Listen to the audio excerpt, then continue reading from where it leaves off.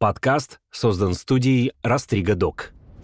Позвоночник, он не палка, а у него есть изгибы. Если вы уже купили себе табуреточку в коридоре, потому что не можете нагнуться и завязать шнурки, пора с этим что-то Пора делать. с этим что-то делать, да. Массажи, они не исправляют, не корректируют осанку и не убирают спазмы без тренировок. Сейчас массажисты идут на нас с вилами. Вот эти, которые тык тык тык тык тык тык тык тык тык вот так по спине. Большинство девочек втягивают живот. Тебе, может быть, это ни о чем не говорит, но девочки сейчас многие поняли меня, что они втягивают живот, и у них эта привычка настолько автоматизирована, а это плохо. Втянутый живот ведет к выпирающему животу, наоборот, как бы это парадоксально не было.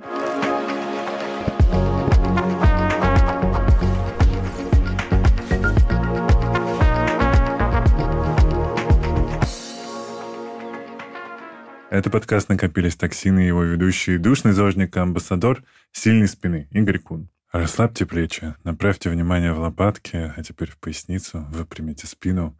Ведь сегодня мы говорим о спине. И со мной в студии Виолетта Фереферова, тренер по осанке и фитнесу. Здравствуйте. Да, здравствуйте. Всем здравствуйте. Моя мама говорила мне в детстве, не сиди буквозю, и вот с тех пор не сижу. Буквально вообще. Вот, вот реально нет так, каких-то привычек, что я вот скрючиваюсь. А, но вот по вашему опыту, можно ли заложить реально с детства правильную осанку? Или все-таки дальнейшая жизнь и образ жизни откладывают и накладывают на нас эту печать горб, сгорбленной спины? Я вас сейчас очень сильно удивлю, но осанка это не спина. М, Да. Осанка это все наше тело, от стопы до макушки. А, то есть стопы, какие у вас там, не знаю, заваленные, плоская стопа, ноги X, ноги O. Это тоже все про осанку. И я сейчас расскажу, как может формироваться осанка в детстве и почему а, фраза «выпрями спину» — это самая ужасная фраза, которая может звучать от родителей от всех. А если особенно от тренера, то лучше бежать от такого тренера. мгм. Знаете, осанка может формироваться даже когда это многих удивляет, когда я это рассказываю, а, даже когда в младенчестве. Вот мама м, кладет ребенка в кроватку, справа у ребенка стоит телевизор. А дети, они реагируют на что? На шум, на Мгм. взгляд. То есть это основная их реакция, пока они не могут говорить и так далее. И мама занимается своими делами, включая телевизор, чтобы ребенка отвлекать. И вот он на протяжении там, месяца, два, три, в одно и то же время она его кладет, он поворачивает голову вправо и смотрит вправо. И так постоянно. И пол- получается, что если вы не стимулируете поворот ребенка влево, то он может уже здесь формироваться его осанка, то есть уже какие-то его перекосы, грубо говоря. Ого. Они, правда, могут легко меняться. Их э, на самом деле у детей дети пластичные в плане очень быстро изменчивые в теле. Они могут поменяться там во взрослом, ну, в плане там, когда ребенок начинает присаживаться. Это тоже формирование осанки, когда он садится. Когда ребенок начинает ползать по-пластунски на четвереньках, вставать, это тоже все формирование осанок. Более того, многие родители покупают ходунки, а это портит осанку. Нельзя ребенку ставить ходунки, если он еще не умеет ходить. То есть Мгм. ребенок должен формироваться, и он формируется. Есть специальные тренировки для детей, для маленьких совсем детей. Это называется с рефлексами работают. Очень хорошие, классные специалисты. И вот э, они меняют детскую осанку как раз-таки через работу с такими паттернами, которые ты, ну, допустим, вот вы приходите да, на тренировку, он говорит, там, э, тренер, сведи лопатки. Ребенку ты это не скажешь, он не поймет. И там э, тренировки через рефлексы. То есть уже здесь начинает формироваться осанка, и если у вас завернутые плечи у ребенка, вываливающийся живот, то выпрями спину не поможет. Ну и, соответственно, да, э, во взрослом возрасте осанка может формироваться от разных э, ситуаций, тоже меняться от того, как часто вы двигаетесь, как э, часто вы проводите время. То есть сидите ли вы, да, действительно, там за компьютером большую часть времени. От стресса может меняться осанка, потому что у нас входит в работу с осанкой дыхания очень большой пласт работы с дыханием. Мгм. Вот, через дыхание мы работаем, а на дыхание может влиять любой стресс. Ну, Вот, и, соответственно, ну, стресс тоже может влиять на вашу осанку. Осанка вообще изменчивая такая структура. Идеальной осанки невозможно добиться, но можно добиться такой, что вы будете выглядеть красиво, подтянуто и себе нравится. О, это самое главное. К этому мы все и идем. А может быть, э, тогда скажем людям, как определить вообще, что есть какие-то проблемы с осанкой, если человек, допустим, ну, не ощущает себя, не чувствует свое тело, и, но хочет при этом как-то больше вложить в свое здоровье. Как мы можем определить, что с осанкой что-то не так? Мы можем... В целом есть индикаторы, например, там мы можем сделать так, посмотреть на следствие плохой осанки. То есть это если у вас болит э, поясница во время прогулок, то есть вы чувствуете, гуляете, что болит поясница, это тоже проблема с осанкой, то есть вытекающие из этого. Или там а, у вас болят колени, это тоже следствие как бы ну, неправильной осанки. Допустим, живот вываливается. То есть угу. многие удивляются, что живот э, не только на кухне создается, это не всегда фактор питания, это тоже большой пласт работы с осанкой. Второй подбородок, отечность, э, холка, это тоже все проблемы с осанкой. То есть вот такие, которые, ну, это просто такие триггерные а, вещи, на которые приходят, там, вот у меня холка, мне нужно там на массаж или что-то еще. Ну, то есть то, что я обычно слышу от клиентов. Угу. А так можно, ну, как проверить и в целом посмотреть, можно сфоткать себя сбоку, а многие не видят себя со стороны и не понимают, что с ними что-то не так или там не понимают, что не так. Можно сфоткать себя сбоку и поставить точку на ухе. И mm. ровную линию провести через все тело. То есть вот начиная с уха и посмотреть, как тело от этой линии отклоняется. То есть в идеале должно быть там сойтись, но это прям вообще идеально. Это ухо, плечевой сустав, тазобедренный сустав, примерно серединка таза, а коленный сустав тоже серединка и щиколотка. Но у многих будет не так. И вот уже можно тут понять, если у вас проблемы с осанкой. У многих будет буква «З» как раз таки. Ну, кстати, не у всех. У многих Или... еще таз вперед пойдет. Это а, чаще а, таз, Четверка такая будет. Смещается немножко вперед. Mm. Я знаю, что был такой э, анатом Николаев, который тоже работал с осанкой в советское время, насколько я помню, и по его вот системе тоже там вид спереди, вид сбоку. Вот у него такое и было определение. Вот. А, тогда, наверное, что у нас вообще есть перечисленным людям, если вдруг они забыли? У нас есть сутулость, у нас есть всякие, наверное, скругления вперед, скругления назад, лордозы, да, вот это все. Но это на самом деле многим людям непонятно. Ну, сутулость понятно. А ну, там, да. когда там, а, там говорят гиперлордоз, лордоз, мне обычно пишут, Виолетта, у меня кифоз, что делать? А кифоз – это нормальное положение грудного отдела. То есть mm. гиперкифоз – это уже когда сильно засутулено. Есть еще гипокифоз – это когда сглажен. Mm. Когда он, наоборот, более выпрямлен. То есть позвоночник, он не палка, а у него есть изгибы. Угу. Вот. И, но тут людям а, не обязательно это прям знать и заучивать. А, можно по таким, ну, по факторам а, в целом, как они себя чувствуют, начинают ли они уставать, когда гуляют, болит ли у них что-то, затекает там на шее, плечи, лопатки. Это тоже все будет говорить о дисбалансе. Или, ну вот, э, такие самые главные, которые, знаешь, мы используем в, в, у себя в блоге, когда рассказывают, mm-hmm. там выпирающий живот, это ягодицы вялые, это лопатки торчащие тоже могут туда, потом колени могут друг на друга смотреть, это тоже неправильная осанка. То есть таких много таких индикаторов, по которым можно понять, э, ну и что с этим можно работать, самое главное, mm. и э, можно заниматься этим с помощью тренировок. Угу. Тогда про тренировки, какие они бывают, есть ли их много, мало, можно делать дома. Я думаю, что сейчас люди э, хотят как-то прорабатывать себя, и тогда куда им идти? Многие на самом деле идут, э, ну, обычно как? Ты смотришь на себя в зеркало, думаешь, тебе нужно худеть, или там нужно сходить на фитнес, потренироваться. Ты идешь, по крайней мере, у меня так было, я не видела результата, не понимала, что не так.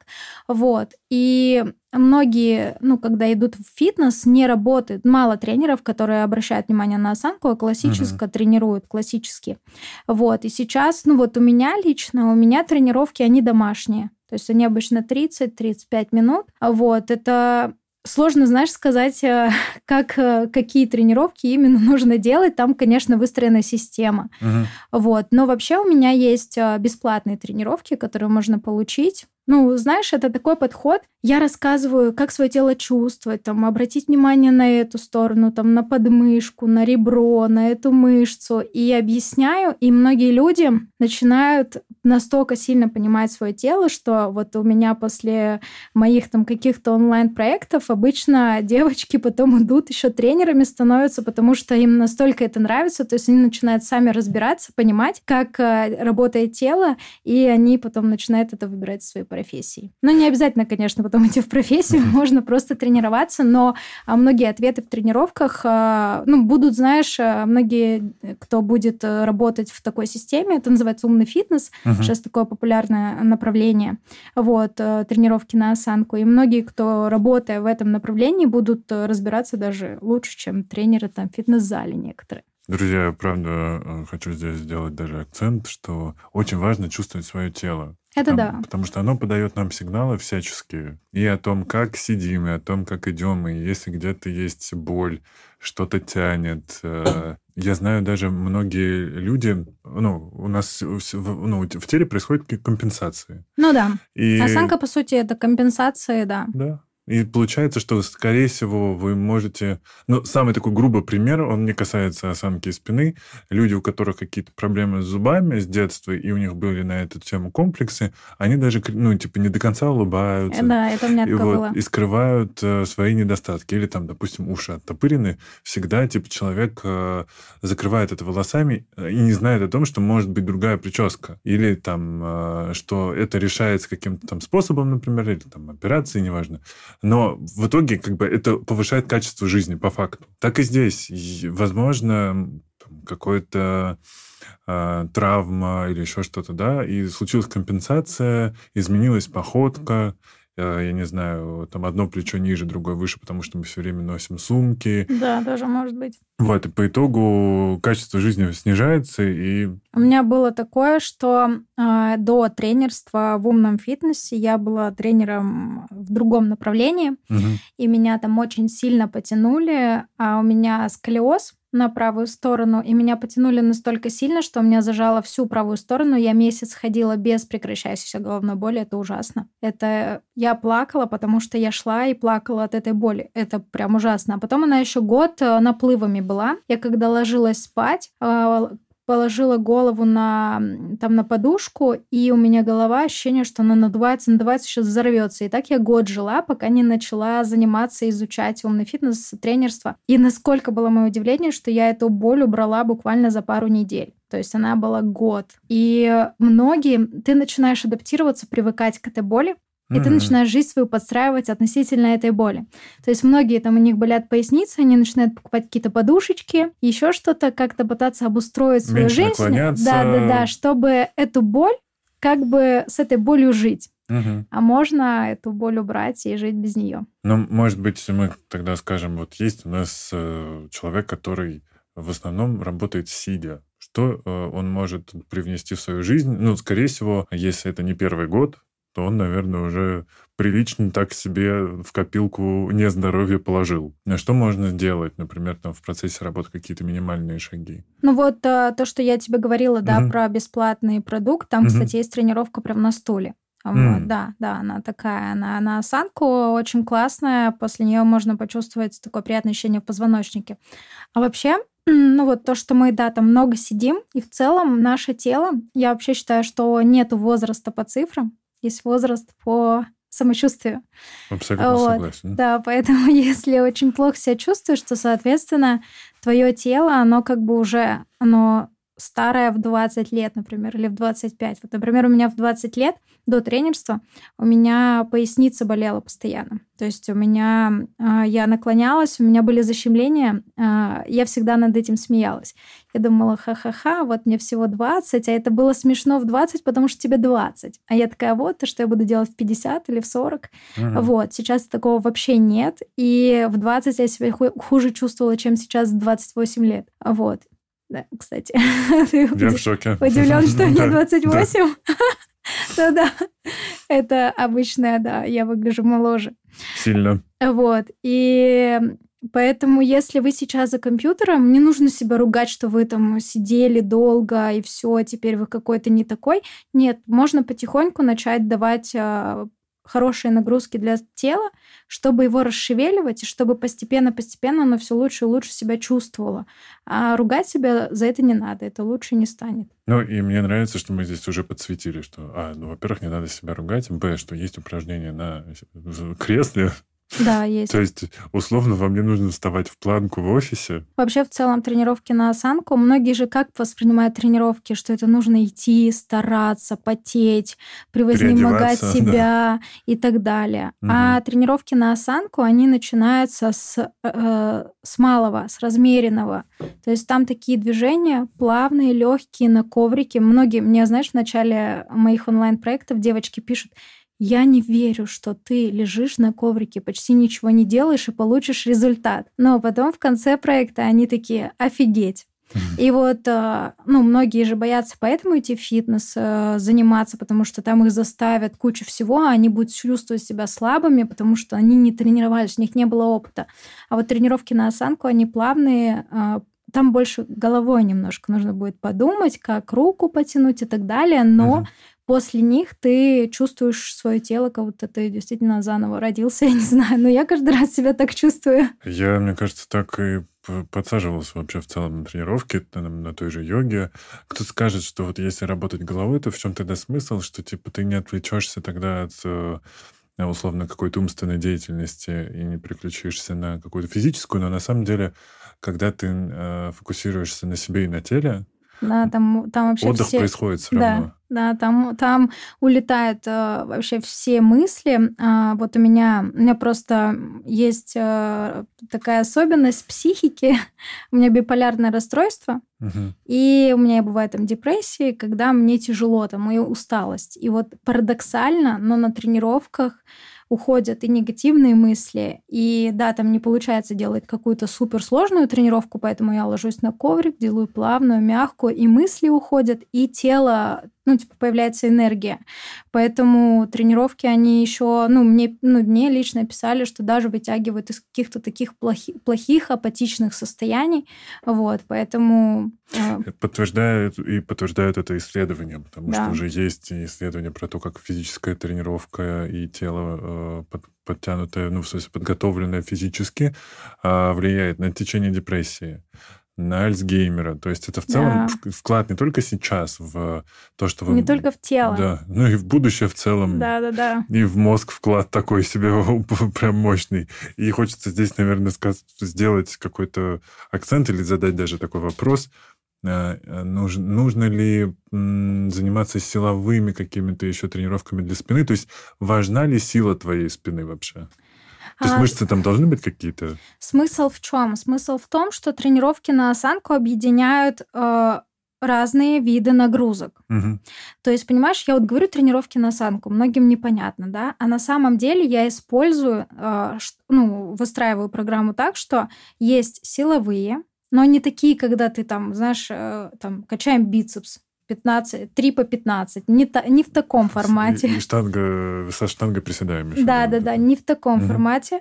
А, поначалу мы работаем собственным весом, а потом, если вы хотите прогрессировать, быть более продвинутым, мы добавляем дополнительные веса.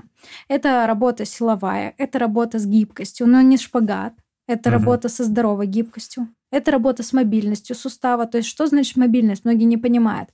Вот представьте, что э, вы вытягиваете руку, да, и можете ее опустить в пол, ну, то есть, э, чтобы у вас пальцы смотрели в пол. И вот представьте, что вашу руку держат, и вы теперь не можете ее вытянуть вперед, чтобы они смотрели пальцы вперед. Понятно же, да, объясняю? Угу. Вот примерно так происходит. То есть в суставе есть определенное движение, то есть вы можете поднять руку, опустить. А когда у нас проблема с осанкой, это движение ограничено. И, допустим, мы можем теперь поднять не на, там, не на в параллель с полом, а на 45 градусов от пола. То есть вот так. Но э, просто если объяснять тазобедренный сустав, это будет еще тяжелее для понимания. Вот.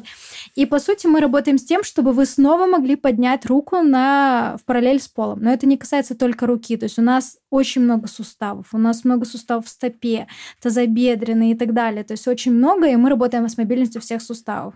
Также тренировки на выносливость. То есть вы, грубо говоря, вы там делаете какие-то упражнения, сначала вы делаете их по чуть-чуть, а потом нарастает нагрузка, и, соответственно, вы выносливость у вас э, в, ну, вырастает. И, и угу. тренировки на осанку – это симбиоз. Я беру упражнения какие-то из йоги. Ну, там просто меня спрашивают, почему упражнение из йоги называется тренировки на осанку. А я просто знаю, понимаю, как тело двигается, я разбираюсь в движениях в суставах, и я вот вижу это упражнение, оно классное. Я объясняю, как его правильно сделать, чтобы правильно двигаться. Ну, то есть, чтобы двигаться так, чтобы нашим суставам было во благо, не травмироваться и так далее. Э, тренировки из пилатеса беру, и какие-то силовые тренировки, функциональные. То есть разный симбиоз тренировок просто выстраиваю в программу, чтобы, ну, чтобы мы работали над тем, чтобы осанка улучшалась, и самочувствие, и визуально тело менялось. Ого, я просто э, удивлен. А это все учеба или это там опыт за 28 лет такой набранный? Как, как?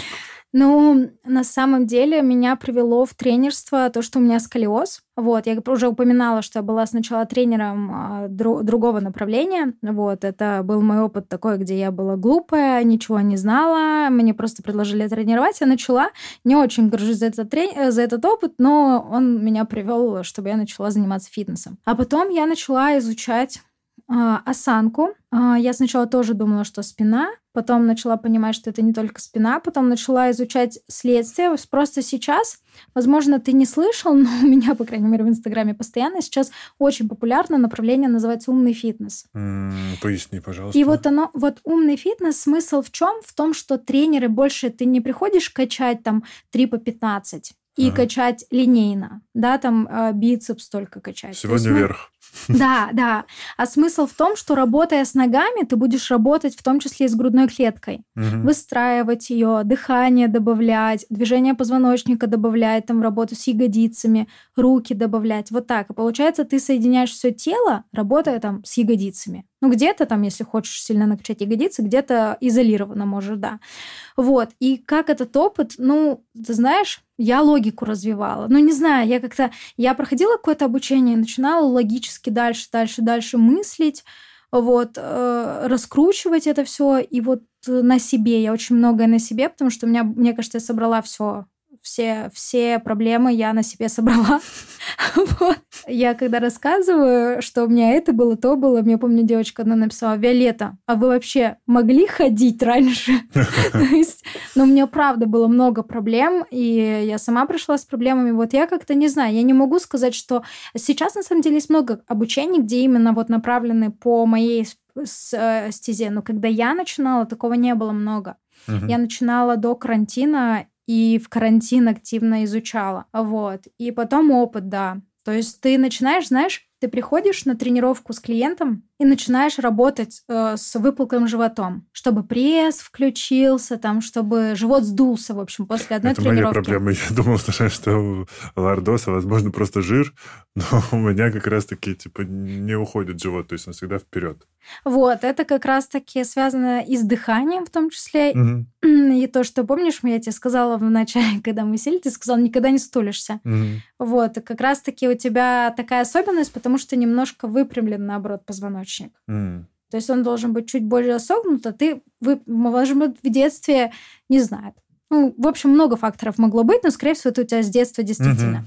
Вот. И вот приходит ко мне клиент, там, мы работаем с животом. И я применяю все разные э, практики, которые я до этого делала, а ничего не работает. И я такая, как же так? И вот в этой работе ты ищешь, я их называю ключики, новые ключики, которые, знаешь, инструменты. Благодаря вот такой работе у меня и создавались онлайн-проекты, потому что ты видишь, как оно работает на практике, ищешь, чтобы это сработало в моменте, и потом перекладываешь на какой-то онлайн-проект. И вот так вот я, наверное, и получала, не то что получала, а выстраивала свою какую-то систему работы с телом. Мгм. Один раз ко мне пришла девушка, жаль, мы ее не сфоткали тогда, но мы, э, мы тоже работали животом. Она довольно-таки, она большая, вот, у нее выпуклый живот, там тоже есть э, работа, можно и через питание тоже пойти, но в том числе он вздутый из-за проблем там с дыханием, с осанкой. И все пол занятия она думала, что мы тренируемся, а я гипотезы тестировала. Но я это все делаю так, что человек думает, что происходит тренировка. А я тестировала гипотезы, и поначалу ничего не работало. А Мгм. потом в конце я нашла этот ключик, и у нее живот очень сильно упластился за одно занятие. То есть мы прям, ну не сказать, что, знаешь, у нее там был огромный живот и стало прям плоский, нет, конечно же, не так, но там результат был виден, и она это сама увидела, она была в шоке, радостная, вообще меня было, э, боготворила. Она, кстати, приходила, выигрывала у меня тренировку.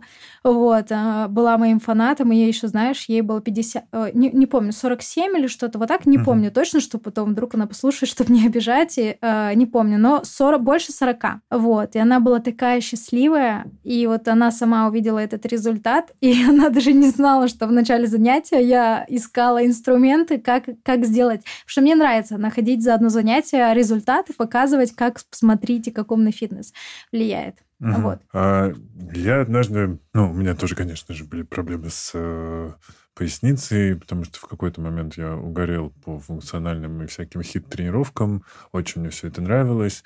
Потом бокс. И пару раз я так нехило, в общем, скручивало меня. И я попал только, ну, пошел прям сразу, потому что я не разогнуться не мог, пошел к остеопату, э, по-моему. И он меня просто тянул в разные стороны. В общем, я отдал довольно много денег, потом понял, как тянуться самому.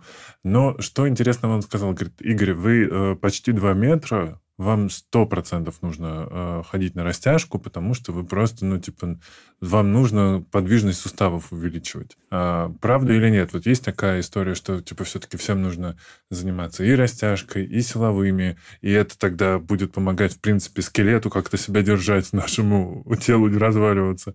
Или можно как-то, если человек не готов у меня очень много среди знакомых, но вообще не хочет шевелиться. Хотя бы такие вот тренировки по полчаса, как ты говоришь, э, этого достаточно будет. Вообще, я считаю, что база это должны быть такие тренировки. То есть угу. там просто действительно захватывается не только растяжка, потому что вот классическая растяжка это тренеры, выходцы из либо а, художки. Балет или художка. И да. балет. И, кстати, сразу видно, кто откуда. а, балетники, они дают там что-то со стопами, с выворотом, вот, а художка я не помню. Ну, я как-то помню, ходила на групповые, и было сразу понятно, кто балетник, кто художка. А, ну, во-первых, я считаю, что нельзя тренеру тренировать без тренерского образования даже растяжку. потому что можно и травмировать, и все. Ну и в целом должен понимать не только по примеру того, как его тренировали, но это ладно. Но вот такая растяжка, это не подойдет для того, чтобы было здоровое тело. Угу. То есть а, та растяжка, которую мы должны делать, она обычно идет в совокупности с силовой работой. Потому что у нас же как мышцы, у нас какие-то тянутся, какие-то сокращаются. Не может быть такого, что ты тянешь одну мышцу, и все, и она у тебя растягивается, и никакие больше не задействуются. Такого не может быть. То есть у нас там есть мышцы, которые, ну, вообще разные есть мышцы, и разные у них работа, конечно uh-huh. же, да. Но в целом, типа, принцип какой? Зачастую, а, то есть, допустим, вот там за- растянуть заднюю поверхность бедра. Чтобы ее растянуть, нужно, чтобы у нас хорошо работали сгибатели. А сгибатели это верхняя поверхность бедра, передняя, uh-huh, uh-huh. передняя, не верхняя, передняя. Вот. И, соответственно, чтобы твой таз наклон... Вот если мы возьмем галочку, да, классическую растяжку, когда садятся на ягодицы, вытягивают ноги вперед и тянутся uh-huh. к ногам. Uh-huh. Вот многие из людей, они тянутся, округляясь очень сильно в пояснице. Сейчас, простите, я вспомнил, что у меня с этой а, историей вообще нет проблем, что я просто могу дотянуться, что у меня руки длинные. И все время говорят такие, Игорь, как ты это делаешь? Я говорю, ребята, лайфхак.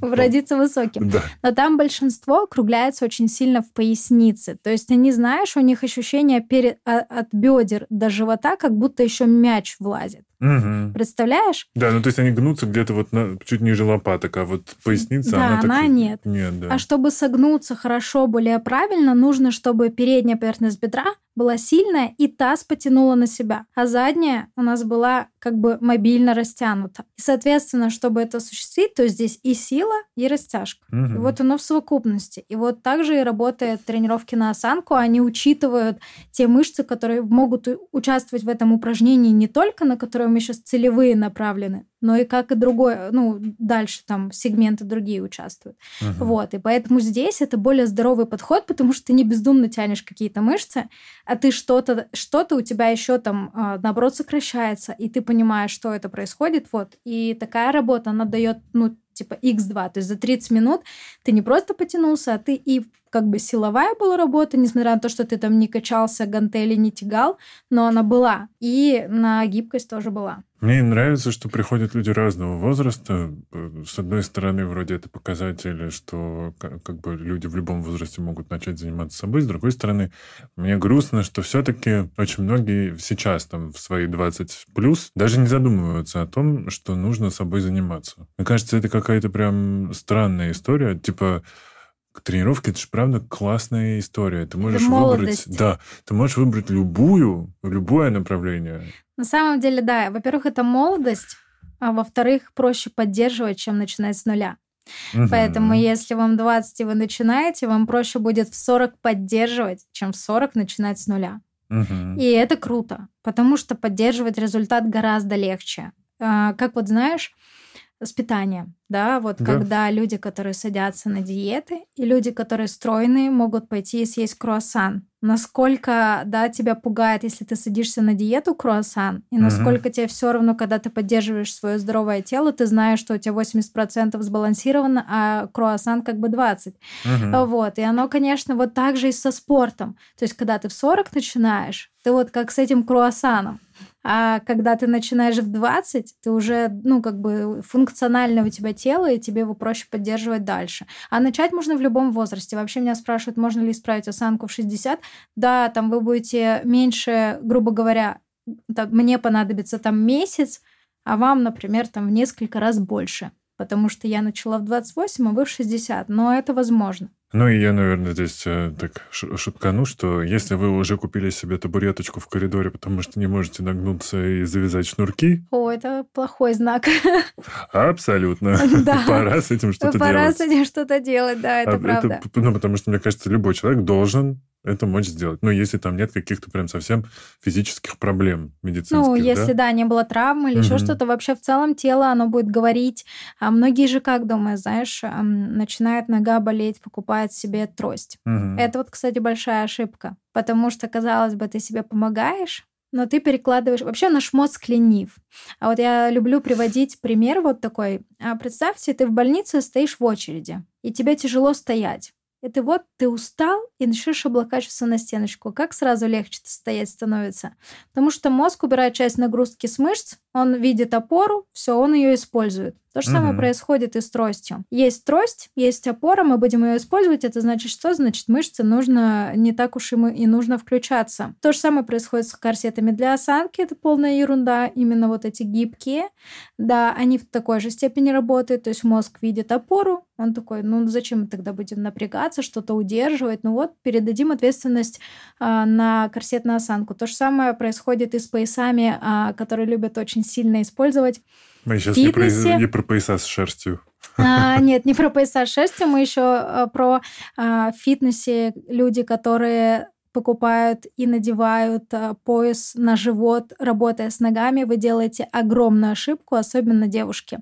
Mm-hmm. В будущем вы можете а, заработать опущение органов а, и недержание. А мужчины, ну, у них чуть-чуть по таз поуже, но тоже могут быть большие проблемы. Я думал, они это делают, чтобы типа грыжу не словить. Да, типа обезопасить. Но по сути они передают ответственность своему э, поясу, а эту ответственность должен брать на себя кор. Абсолютно так. Вот. И если он на себя не берет, некому защищать поясничный отдел позвоночника, соответственно, будет все страдать. А у девушек из-за того, что таз широкий, мы вообще в целом, из-за того, что мы рожаем, мы подвержены тому, чтобы у нас там было опущение органов, недержание, и вот э, мы получаем больше проблем э, с тазовым дном, чем мужчины. Вот, э, эти, нося эти пояса. Потом фитнес-тренеры меня закидают. Но это так. Ну, сначала они придут э, сжигать меня, а потом найдут тебя. А, скажи тогда, может быть, еще какие-то есть ошибки, которые люди совершают? Потому что вот мы уже... Я просто только почему-то в этом году обратил внимание, что ты приходишь в зал, а там уже все изобрели какие-то себе новые упражнения, потому что люди уже просто вверх ногами в этом э, тренажере, ты такой думаешь, как это я вроде делал вчера на нем по стандартному, а теперь туда нужно ногу закинуть, здесь ей качать. Мне кажется, люди уже сошли с ума. Мы вот выяснили, значит, э, если вы 50 плюс, забросьте палки, идите все-таки заниматься собой. Трость это неплохо, но от нее можно избавиться. Да, а, значит, пояса мы не надеваем, потому что мы можем себе Ну, мы не надеваем их и не идем тут же поднимать штангу. Мы работаем с чем? С кором. Угу. Тоже работа с осанкой, в том числе там большая работа с кором. Вообще кор это основное в работе с осанкой. Мы идем с этим, разбираемся и потом спокойненько приседаем себе без пояса угу. с теми же весами. А, может быть, еще какие-то стельки, например, тоже может быть вредно, потому что вместо того, чтобы работать с осанкой и стопой, человек просто тоже компенсацией занимается. Да, тоже как вариант, но тут разные ситуации бывают, вот. Но я бы не, ну, если какая-то очень серьезная либо травма и так далее, и прописали стельки, это другой вариант. Если вы человек, там, вам 30 лет, и вам сказали ни с того ни с сего носить стельки, я бы не стала. Я угу. бы лучше начала заниматься стопой. А, ну, как я и говорила, осанка это в том числе стопа, и, конечно же, тренировки на стопы тоже есть. Вот. И, соответственно, я бы начала работать со стопой, потому что у меня, например, стопа была плоская, у меня росла косточка у большого пальца, знаешь, что угу, это? Угу. Вот. Э, это когда такая палец в сторону уходит. Угу. Вот. И, соответственно, сейчас э, такого нет, но косточка не растет. А вот стопа у меня мышечная. Я никогда не видела, что у меня есть мышцы у стопы. Раньше они были просто отекшие, я их называла варениками и дико стыдилась их. Mm. Вот. И, соответственно, если вам просто прописали стельки, то я рекомендую пойти и разобраться, что с вашей стопой. Вот, а там да. еще и пойдет за тем, что вы еще и обувь на широкую босоногую поменяете. Сейчас представила, как ты сидишь и большим пальцем стоп, ну, ноги поднимаешь маленькую гирьку, чтобы у тебя были мускулы. А, кстати, знаешь, а можно не так. А, многие люди не умеют отводить большой палец в сторону. В, смысле, в, обуви, ногах, не, в обуви не получится, да. Нужно вот просто вот вы садитесь возле зеркала и попробуйте большой палец в сторону отвести. Угу. Большинство людей не сможет. А, и попробуйте мизинцем отдельно пошевелить. Тут 90% не сможет. Mm-hmm. А еще попробуйте поставить стопы на пол, поднять отдельно большой палец, оставив все остальные пальцы на полу, и опустить большой, и поднять все четыре пальца. Ну, там еще по щиколотку не завалить, но тут ладно, хотя бы так. Вот, ну, это смогут больше людей, но тоже будет тяжело. Угу. Кому-то будет очень тяжело. Так, тогда еще подводя здесь черту, э, значит, осанка может влиять на походку. Да, походка на это, да, это Про самое... походку может быть отдельно что-то что можно сказать? Слушай, походка это неконтролируемая, э, ну, то есть это контролируется нервной системой. Физически ты это проконтролировать не можешь. То есть контролируя свою походку идти, это плохо это, ну, то есть так нельзя делать. Только модели делают 20 минут на подиуме да, и все. Да, да, да. Но они в целом они учатся, у них не, у них не хорошая походка у модели, они, у них она как раз-таки вредит э, вот нашей правильной биомеханике. Mm. Вот. Но если мы работаем с телом, то наша походка будет меняться. Она mm-hmm. в любом случае будет меняться постепенно, не сразу, да, вы там... Ну и у многих представления походки э, вот как раз-таки с, с подиумов а это mm. нездоровая походка. Последние показы там были вообще как будто бы я видела как-то один показ темный, а, а, ну черный, и там Маржела, они ходили прям они, очень. Типа такие а нет, это, это прям недавно было. Они да. делали, по-моему, как куклы. А, да, да, как кукла там была. Да, а было еще до этого, давненько, тоже какой-то в черном все были модели, много очень. И они были очень сутулыми. Там прям mm. очень много Баленсиага или Маквин, вот куда-то туда. Наверное, да. Вот. Поэтому, ну, с походкой работаешь через тренировки. Она будет потом постепенно меняться, потому что будет меняться нейромышечная связь, то есть баланс между мышцами будет меняться, соответственно, будет меняться походка. Угу. Ты еще говорила про дыхание. У нас есть еще время. Э, как здесь участвует дыхание? А, ты умеешь дышать спиной? А, я просто поясню для слушателей. Ну... Я все-таки с э, человек, который работает голосом уже довольно давно. А, когда я вещаю, я ага. дышу животом потому что мне должно хватить воздуха на ага. какие-то предложения, а особенно если это какие-то длинные тексты ага. нужно озвучивать, то это животом. Но в целом, когда я учился, я знаю, что такое дышать там в ребра, дышать в спину. Во. Вот. Это я знаю, но не то чтобы могу прям сходу. То есть мне нужно чуть-чуть так, типа, почувствовать спину сначала. Угу. Вот а, многие не умеют. А, вообще дыхание животом не обязательно, чтобы хорошо и тебе хватало говорить. Mm. А, почему? Сейчас объясню. А, наша диафрагма, мышца, это мышца. Ее тоже можно тренировать. Mm-hmm. А, просто не так классические. Вот. И она у нас крепится ко всем ребрам по кругу. А, mm-hmm. То есть она как купол. Вот. И многие используют ее малую часть. То есть не используя, например, сзади. Mm-hmm. А, я вообще узнала о том, что можно дышать в спину. Удивительно, не на тренерских курсах сначала, а на вокале. У меня был преподаватель, который меня учил а, спиной держать звук. Вот я хотел как раз спросить, наверное, вокалисты по-другому чуть-чуть. А, вот, вот кто-то животом учит, а вот у меня, знаешь, было недавно experience такой из-за того, что я занимаюсь вокалом, а, и мне очень помогает знание о теле, и я решила поэкспериментировать. А что, если мы проведем занятия девочки, а, я как тренер, а педагог как э, педагог по вокалу. Я через тело пыталась ей улучшить звук. И вот, кстати, очень круто была одна девочка, она вообще не могла петь на опоре, ну, то есть она, знаешь, так немножко с, как, как сказать, такой звук был сдавленный. Uh-huh. А вот как раз благодаря упражнениям на дыхание, на ребра там и на так далее, мы, с, мы с ней, она почувствовала опору сзади, и у нее объемнее он стал.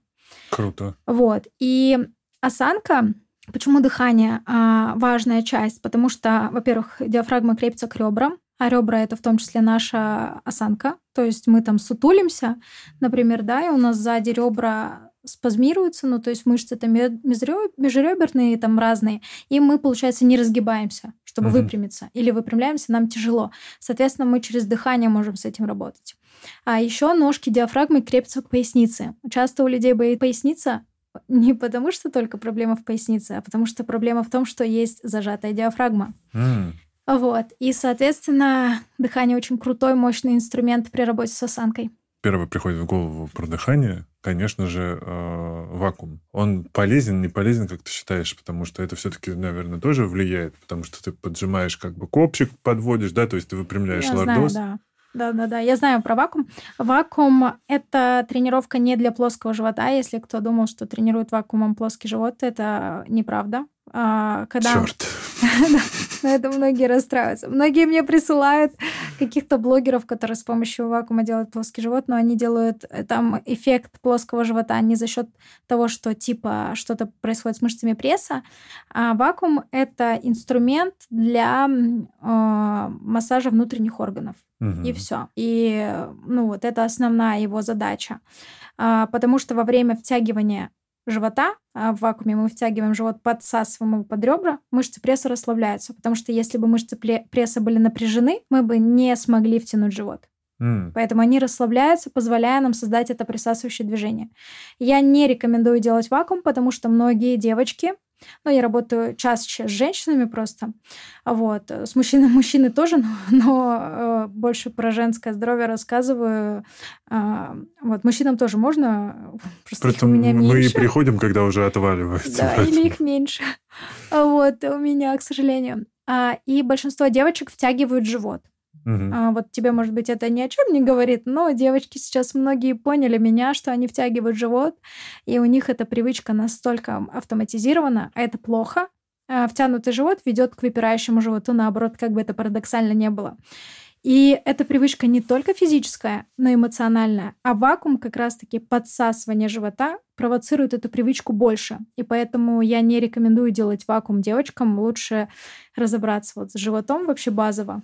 А потом, как инструмент самомассажа, когда ты знаешь, что ты не втягиваешь живот, уже можно использовать. Тейпы. Они же тоже, получается, берут на себя какую-то часть нагрузки, если их люди а клеят а тейпы же делают их для того, чтобы как-то э, создать чуть больше мобильности в определенном регионе, убрать спазм. Поэтому тейпы хороший инструмент, но тейпы не заменяют тренировки никогда. Угу. То есть э, тейп как доп. инструмент очень классная штука на самом деле. Сейчас я слышал еще про такой тренд на тренировку по паттернам движения. Да, это на самом деле это практически то же самое. Называется functional patterns. Ну, просто у меня, э, ну, точнее так, я видел прям, как вот это правильно паттерн шага, и ты тренируешь правильно шагать. Не, не так. Не совсем, нет. нет. А, смотри, как тренировки по паттерну шага и functional patterns. Я не тренирую functional patterns, потому что там в фитнесе есть э, разные люди и войны между собой что не надо ребятам из функционал паттерн меня сейчас хейтить. Вот. Но я просто объясню, в чем смысл а, таких тренировок, которые сейчас, да, действительно набирают популярность. Они схожи с нами, но немножко другие. А Вот. А, смотри, ходьбу разбирают на, на, на, как это, на этапы шага. Что происходит в определенных этапах шага в э, суставах. Угу. Например, там, что происходит в тазобедренном суставе, когда мы делаем вынос ноги. Что происходит с суставами, когда мы делаем опору и перекатываемся? Что происходит в суставах, когда мы поднимаем вторую ногу и снова делаем вынос ноги? Вот разбирают, как двигаются суставы, и в контексте этого движения составляют тренировки. То есть так, чтобы у человека, если это движение отсутствует, а оно, если плохая осанка, и человек там не тренируется, не двигается, почему у нас старики ходят в развалочку такую, как мишки, еще не потому, что они постарели, а потому что они перестали двигаться, и их мозг стал все меньше и меньше использовать потенциал их мышц и суставов. Ну, как я говорила, мобильность суставов. Uh-huh. Вот, и, соответственно, функционал паттернс и вот тренировки в контексте шага и бега, они как раз-таки проводятся тем, что они создают это движение в тренировке, улучшает uh-huh. мобильность, и потом улучшается шаг. Вот. Но это не делает так, типа, мы должны шагать именно так, и ты шагаешь, типа так. Нет, там, там тренировки выглядят по-другому. Вот. Но просто они потом снимают результаты по походке или по бегу. Угу. Я еще видел там, типа, с молотом они как-то с там палками, зам... да. Но они, они, понимаешь, они, то есть, делают а, движение. У нас же как? Что у нас происходит? Мы а, бросок у нас мы, угу. если на нас кто-то идет, мы с копьем бросаем. То есть они в этом контексте движения, которые нам нужны. Угу. Вот. И вот это движение с молотом это контекст э, движения броска который нам природой важен. И бег угу. нам важен на самом деле, а, потому что если за нами побежит э, волк, мы должны убежать, ну, грубо говоря. Поэтому в контексте бега сейчас тоже модно, ну, вот они тренируются. Так, вот. а, про бег расскажи, пожалуйста, вреден, не вреден, что ты про него думаешь? Бег – это крутая вообще тренировка. Но это, это не... Но это, надо правильно бежать, наверное. А, это не... Ну, бег э, – это тренировка не для похудения. Согласен. Это тренировка для улучшения выносливости, да. И бег для нашего тела очень важен. А, но если вы весите 100 килограмм и идете бегать, чтобы похудеть, это плохая идея. Я вешу 100 килограмм. Блин, ладно, подожди, если вы весите 100 килограмм, при росте никак... Игорян просто очень большой. Да, ну, именно если вы очень сильно большого лишнего веса, а, идти бегать – это плохая идея. Но да, действительно, а, вот э, чтобы ну, начать бегать, а, есть очень много классных тренеров, которые рассказывают, там не обязательно супер много, но важно понимать, что к бегу должны быть доп. тренировки, вот именно, которые помогут, э, помогут именно тело сбалансировать, потому что многие будут бегать, перегружая поясницу и буду чувствовать поясницу. А, и поэтому вот тут тренировки на осанку помогут. И вот так, ну вот я сейчас а, добавляю тренировки по бегу, и там тоже мы снимали вот для моих онлайн-проектов а, с тренерами про бег, раз, разговаривали про кроссовки, про все, то есть рассказывали. И это классная штука, вообще бегать круто. Бегать угу. круто и для ментального здоровья, и для физического. Абсолютно. Вот. А я добавлю, что, конечно же, кроссовки и все это, как бы куча всякой информации в интернете, правда. Не бегите сразу покупать самые мягкие, потому что... А потом пойдете бегать на дорожку. Так не делают, поэтому кроссовки это важно. А вообще лучше по улице. Да, то есть все-таки разберитесь как-то Поймите, как вы, чего вы ждете от бега, как вы хотите бегать. Не нужно бегать по 10 километров, не нужно бегать марафоны. Марафон вообще, наверное, не про здоровье все-таки. А, на самом деле разные, слушай. Ты знаешь, если организм готов, то мм это прикольный experience. А если ты никогда не бегал и готовишься к марафону, то, возможно, ты будешь при... вознемогать свое тело и перегрузишь его. А mm если ты тренировался 10 лет и пошел на марафон, то почему бы нет?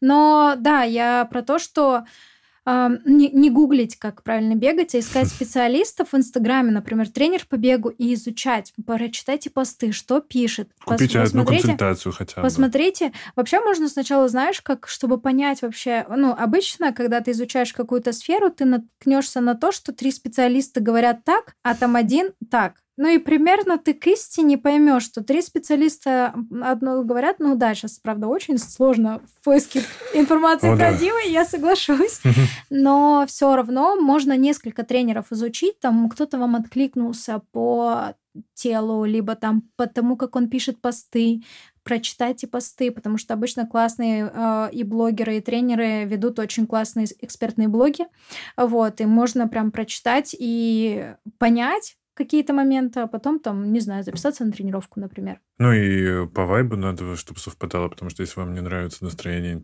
которое дает тренер и тренировки в Тоже, целом, да. то Тоже вы важно. долго так не продержитесь. Потому что, да, нам нужно любить, а, а, ну, не нужно себя заставлять. Если вам не нравится и вы ходите в зал, не нужно вам ходить в зал. Ну, Мгм. не нужно. Есть столько альтернатив а, и очень классных тренеров, и там вот тренировки те же на осанку. То есть можно выбрать то, что, от чего вы кайфанете. Мне, кстати, много кто пишет, что я, благодаря мне, их тренировки стали регулярными. Типа они влюбились в тренировки. У меня есть прям фанаты, которые, особенно, знаешь, которые ждут от меня оффлайн группы. У меня есть девочки, которых я когда начинала свой карьерный путь, начинала группу вела, я набирала так сама, не в каком-то клубе. Мгм. И вот они до сих пор, я их очень люблю, я для них никогда не повышаю цену, то есть у меня есть определенная цена за группы, которая вот именно для них, потому что они давно, и они каждый раз ждут, что я открою группу, и вот они очень любят, то есть они прям бегут на мои тренировки.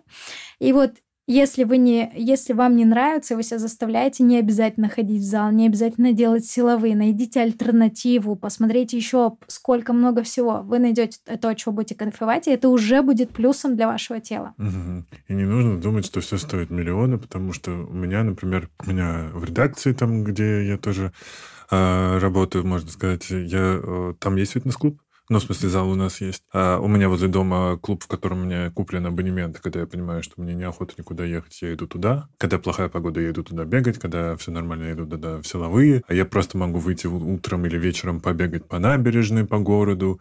Я и хожу на бокс, это отдельный мой experience. И вот все зависит от моего настроения, желания, тела. Если я понимаю, что я перетренировался, значит, можно сходить просто там э, со своим весом позаниматься и не упарываться. То есть в целом, э, на самом деле, когда вы чуть-чуть приоткроете форточку тренировок, Ну да, то потом да, вы войдете вопросы. в новый мир через Да-да-да. дверь с ровной спиной. Потому что а, вначале ты думаешь, я вот хочу похудеть, мне нужно заниматься, чтобы худеть, а когда ты уже а, с опытом, есть какой-то опыт, ты уже по-другому относишься к тренировкам, и. В целом ты думаешь, вот я сейчас думаю, блин, а чем бы еще можно было бы заняться таким прикольным, интересным, вот я теннисом начала заниматься. А я на скалолаза не хочу. Вот, и ты, и ты уже по-другому, и ты ищешь разные виды другие. Я бы, конечно, как человек, тренер по осанке, рекомендовала бы вам начать с осанки, но раньше была категорична, я бы сказала, только с осанки, никак, но на самом деле если вы хотите начать чего-то другого, начните. Главное, начните.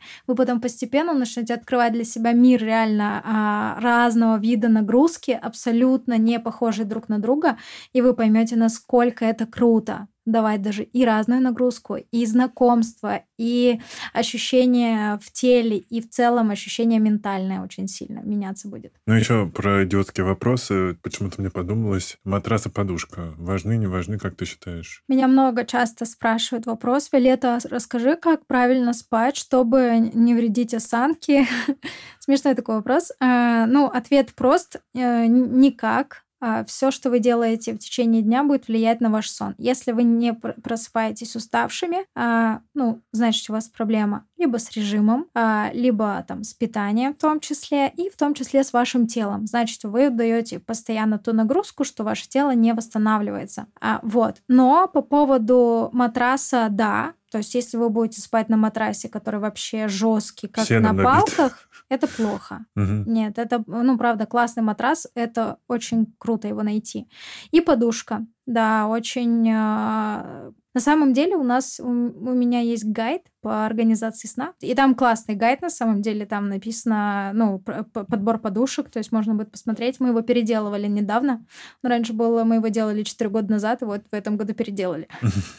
Поэтому он еще обновленный. Вообще. Так, а, обувь. Нужна какая-то особенная, если есть совсем прям проблемы, или мы, ну, как бы, понимая, что все-таки все гонятся за модой, красотой и так далее, ну, здесь можно сделать скидку. Ты спросил у человека, который трендсеттер босоногой обуви. Я против модной, э, модных веяний э, в обуви. А, слышал про босоногую обувь? М-м. Э, Это сейчас направление, которое в России не популярно еще пока оно набирает обороты благодаря в том числе мне. Вот, но в Европе и в Америке очень популярное направление. Босоногая обувь. Чем ее смысл? А, Во-первых, она очень гибкая. Тонкая подошва и гибкая. А, Вообще эту обувь можно просто взять и согнуть и положить в ведерко, ну вот в банку. Вот. А, Она ого. настолько гибкая. Они даже делают зимнюю и осеннюю обувь тоже М. в такой же гибкости. Но у них и зимы, и осени не как у нас.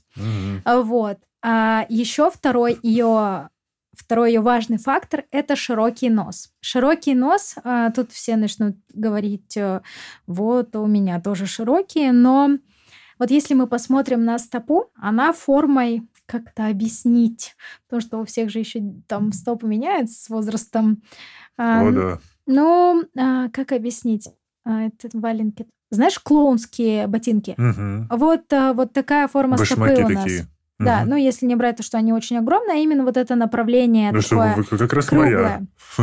Вот. И босоногая обувь, она именно такой круглой формы. То есть все острые носы, это вредит нашей, нашей стопе. Очень сильно вредит.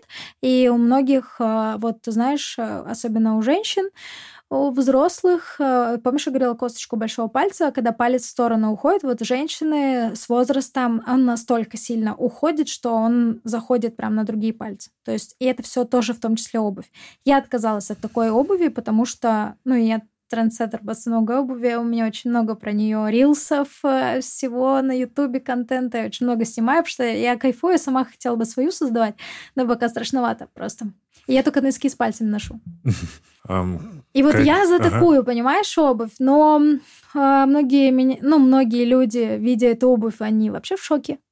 Вот. Но никого не, не смущает. А знаешь, форма биркинштоков? Да. Вот, по сути, а, вся босоногая обувь по форме биркинштоков, их М. носа. Но биркинштоки, они, кстати, не очень хорошая обувь. В плане они все делают жесткую. Мгм. Она не гнется практически. Вот, поэтому биркинштоки многие не очень. Ну и И- Мартинс тоже не гнется, в них ты как в кандалах Мартин, ходишь. Мартинс вообще жесть. Ну вот я за такую обувь, но знаешь, Ну, а, сейчас лето хочется легких кроссовок вот в сетку, чтобы продувало. не обязательно, кстати, вот, а, ну, у меня, у меня просто, а, сколько у меня, 15-16 пар босоногой обуви, я просто, правда, фанат. Так я зайду посмотреть, что это за обувь такая. Я прям вообще фанат, я не знаю, я... Кстати, знаете, есть классная фирма беговых кроссовок с широким носом, это Альтра. Я не знал про такие. А, у них нос прям вот широкий. М. А, можете посмотреть и посмотреть, хотя бы начать с этих кроссовок, просто купить их и попробовать. Но главное, проверяйте, гнется ли подошва, то есть сгибайте нос и пятку и смотрите, мягкая или нет. Если вообще не гнется, не берите. Ну вот, а я бегаю в Саконе и в Хоку. Вот э, посмотри Альтру, а, они прям, ну, у них широкий нос, обычно широкий нос, прям наблюдай за необычным, ну вот сравни Про с- нос я знаю все, как мы видим, поэтому широкий нос у кроссовок. Сравни с- со своим кроссовком, и если он шире, то, скорее всего, это топ, потому что у них есть узкие тоже, а так, а так как ты не сталкивался, короче, они примерно в форме беркинштоков, вот именно их носа, вот, и они классные. Я думала, не существует кроссовок с широким носом, а мне клиентки мои сказали, что альтра, и вот я купила три пары. Круто. Конечно, еще один вопрос, который мне тоже пришел сейчас, и я вижу их повсюду. Массажеры. Вот эти, которые тык дык дык дык дык дык дык дык дык вот так по спине. Пе- перкуссионные массажеры. Вообще, я бы не стала, не рекомендовала бы людям брать эти массажеры, а, если вы не знаете работу тела. Потому что, ну, не знаю, ну мало ли где-то пере, пере- ну, перебьет, и там у, мы- у мышцы был э, спазм, еще больше спазмируется. Я Ну, только общем, читал, э, что не стоит точно массировать спину, ой, шею, что шею точно лучше не трогать. Ну, а потому что это регион, который такой очень э, гибкий, мобильный и очень важный регион, наверное, поэтому не разрешает, еще поясницу обычно не разрешает. Я бы не рекомендовала брать. А, не, ну, смотрите, массажи, они не исправляют, не корректируют осанку и не убирают спазмы без тренировок. То есть многие идут на массаж при сутулости. Сейчас массажисты идут на нас с вилами. Э, Ну, ну, смотри, я сейчас объясню. Многие идут на массаж, а, при сутулости. И это просто очень смешно, потому что с- массаж же что, он типа расслабляет. А представь, мы сгибаемся, допустим, если классическая сутулость, когда реально округленный грудной отдел. У нас мышцы спины растянуты, а Мгм. мышцы грудной клетки сокращены. И вот мы растянутые мышцы пытаемся еще расслабить, они еще больше растягиваются, и мы еще больше получаем сутулость. А, Поэтому массаж должен быть как дополнительный. Но есть разные, понимаешь, массажи. Есть там э, остеопатические истории, когда работают там, а, ну, с мобильностью сустава, и это круто может помочь. Но если дополнительно закрепить тренировками, ну, представь, ты сидишь 8 часов за компьютером, пришел на массаж, тебя помассировали, а ты еще следующие две недели снова сидишь Конечно, не будет результата, но глупо надеяться, что будет результат. Массаж не исправит тебе. Ты же сидишь постоянно. Как может то, что должно исправляться движением, исправиться пассивностью? Нет. Вот, поэтому вот это, я бы не рекомендовала их брать бессмысленно, потратьте деньги зачем? Лучше на тренировки потратьте деньги, на осанку, например. Согласен. Ну и, наверное, последнее. Есть ли какие-то тренировки, которые ты не рекомендуешь людям, если они не подготовлены? Потому что часто кто-то ходит, ну, там, по крайней мере, то, что я вижу в залах, да, там какие-то бешеные тренировки люди с лишним весом, и вот они уже годами ходят, ничего не меняется. Понятно, возможно, там с питанием надо было бы еще поработать и еще с чем-то. Ну вот какие-то совсем которые лучше не трогать, а лучше начать с чего-то помягче, поспокойней. Я бы не рекомендовала ходить на классическую растяжку к тренерам, которые ведут э, с художки или с балета. Вот, Мгм. ну потому что это бессмысленно, что ли. Но на самом деле, раньше я, знаешь, была категоричная вообще, я бы тебе сейчас столько всего назвала, а сейчас я такая стала, что э, организм такая штука, а, вот знаешь, э, мы можем с тобой ходить в зал и делать одно и то же, а ты через месяц со спиной с больной свалишься, а я нет. А я Мгм. чутка, у меня организм чутка поадаптивнее. Мгм. И или у тебя грыжа появи- появится, а у меня через год только появится. То есть неизвестно вообще, что именно даст а, какой-то критический, прям а, а, критический вариант нагрузки, но я бы не рекомендовала качаться с огромными весами, если, ну, как минимум, вы надеваете пояс, или у вас вдувается живот, или болит спина, вот, лучше бы заняться осанкой. А потом эти же веса можно спокойно. Или на кроссфит, и у вас очень много лишнего веса, или тренер какой-то, знаешь, там вы блюете на тренировке. Но я такое не люблю. Вообще я против э, жесткого. У нас просто в, э, ну, в клубе боксерском говорят, что если ты не блевал, то плохо потренировался. Вот, да, да, да. Я просто такое не люблю. Э, Я бы, знаешь, что сказала? Решайте сами. Это ваше тело, ваша жизнь. Как вы Мгм. хотите, хотите идти на кроссфит, где блюют, ради бога, реально. Но я за то, что базово действительно каждому нужны тренировки на осанку, не потому что вы какой-то там старый дед, и вам нужно заниматься осанкой, потому что тренировки на осанку очень интересные и классные. Просто это базово улучшает э, здоровье в теле, его функциональность, и на это наложить можно вообще любой вид спорта. И, получать классные результаты и чувствовать себя в этом вид спорта не как старая бабка. Виолетта Фериферова, тренер по осанке и фитнесу, была сегодня у нас в гостях. Спасибо, что пришла. Спасибо, что позвали. Это был подкаст «Накопились токсины», его ведущий душный зожник Игорь Кун. Услышимся в следующий вторник.